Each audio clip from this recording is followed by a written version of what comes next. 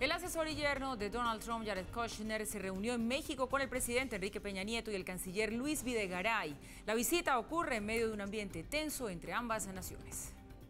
Muy temprano y acompañado de un numeroso operativo de seguridad, Jared Kushner, asesor y yerno del presidente estadounidense Donald Trump, llegó a la sede de la Secretaría de Relaciones Exteriores, donde se reunió con el canciller del país, Manito, Luis Videgaray. A mediodía y sin ofrecer detalles, la caravana del funcionario norteamericano abandonó la sede de la Cancillería y se dirigió a la residencia oficial de Los Pinos. A ese lugar llegó a la una de la tarde, hora de Ciudad de México, y minutos después inició una reunión con el presidente Enrique Peña Nieto. El encuentro finalizó casi tres horas después y Kushner se retiró del lugar.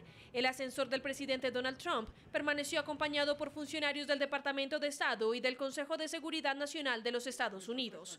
Su visita a México se produce en medio de una tensión política entre las dos naciones, luego de que Peña Nieto cancelara recientemente una visita a la Casa Blanca debido a una discusión telefónica en la que el mandatario estadounidense insistió en la construcción del muro fronterizo.